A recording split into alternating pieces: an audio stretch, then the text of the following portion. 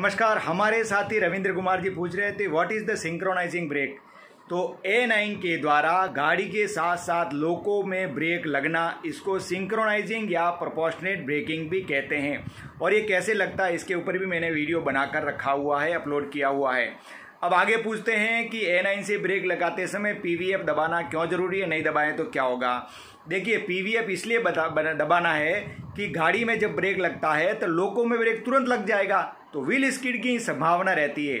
इसलिए हम क्या करते हैं पीवीएफ दबाकर लोको में ब्रेक नहीं लगने देते हैं और गाड़ी में लगने देते हैं, ताकि लोको का व्हील स्किड होने से बचाव किया जा सके।